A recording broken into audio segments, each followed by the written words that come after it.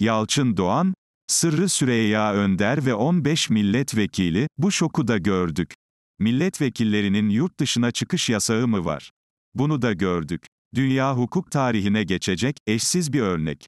5 Temmuz 2023 gece yarısı saat 1.58, Ankara 22. Ağır Ceza Mahkemesi 2021 bölü 6 esas sayılı dosya hakkında karar veriyor.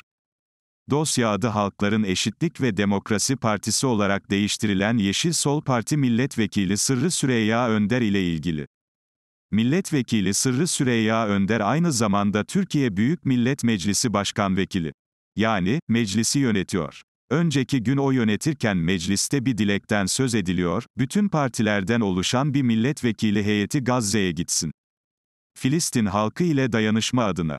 Ben gidemem, Sırrı Süreyya Önder, insan nasıl niteleyeceğini bilemiyor, akla hayale sığmaz bir açıklama yapıyor, gitmeyi çok isterim ama, benim yurt dışı yasağım var.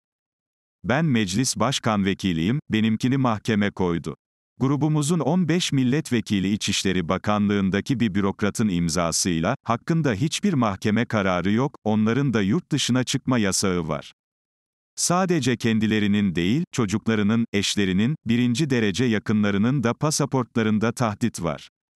Bir bürokrat kendisini yargının üzerinde konuşlandırarak, milletvekilinin seyahat özgürlüğünü kısıtlayabiliyor. Bunun bütün meclisin sorunu olması gerektiğini düşünüyorum. Ne? Milletvekillerinin yurt dışına çıkış yasağı mı var? Bunu da gördük. Dünya hukuk tarihine geçecek, eşsiz bir örnek. Önder yargılanıyor yukarıda sayısını ve tarihini verdiğim dosyaya göre, Sırrı Süreyya yargılanıyor, özetle. Silahlı terör örgütüne üye olmak ve devletin birliğini, ülkenin bütünlüğünü bozma suçu ile bu suçun işlenmesi sırasında işlendiği iddia olunan suçlardan dolayı mahkememizce yargılandığı anlaşılmaktadır. Sanığın işlediği iddia edilen faaliyetlerin TCK 302. maddesinde suç olarak düzenlendiği görülmektedir. Durdurma başvurusuna red sırrı Süreyya milletvekili seçilince, mahkemeye başvuruyor, milletvekili seçildim, yargılama durdurulsun.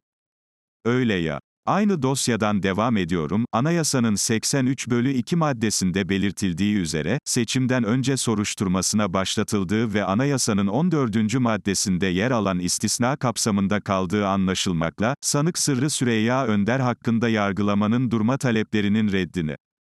Mahkeme, sen milletvekili seçilsen bile, bu devlete karşı işlenmiş suçtur, yargılanman durmayacak diyor.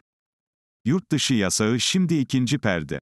Sırrı Süreyya'nın adli kontrol, yani yurt dışına çıkış yasağı var. Ankara 22. Ağır Ceza Mahkemesi şunu ekliyor, adli kontrol kararının kaldırılması talebinin reddini. Mahkeme hem yargılamayı devam ettiriyor, hem yurt dışı yasağını kaldırmıyor. Büyük ve koyu harflerle yazdığım reddine sözcüğü mahkeme kararında nasıl yazılmış ise ben de öyle aktarıyorum tutanaktaki gibi belgelenmesi halinde mahkeme yurt dışı yasağına istisna getiriyor. Tutanaktan, sanığın milletvekili seçilmesi nedeniyle TBMM çalışmaları kapsamında yurt dışına çıkması gerektiğinde, bu hususu belgelendirdiği takdirde, yurt dışına çıkmasına izin verilmesine. Elini kollunu sallayarak, ben yurt dışına gidiyorum, derse, gidemez. Ancak, meclisten görevli olduğuna ilişkin belge getirmesi gerek. 15 milletvekili skandalı Sırrı Süreyya'nın dosyası özetle böyle. Bir de, yine onun dile getirdiği diğer skandal var, haklarında mahkeme yok ama, İçişleri Bakanlığı kararıyla 15 milletvekili hakkında da, yurt dışına çıkış yasağı var. Üstelik bu yasağa eşleri, çocukları dahil. Artık yasalardan, anayasadan söz etmek çoktan geride kalmış, hukuk devleti, kuvvetler ayrılığı bu ülkede çoktan lüks olmuş. Bunları son yıllarda sayısız olayda sık sık yaşıyoruz, bu örneklere her gün akla hayale sığmaz yenileri ekleniyor.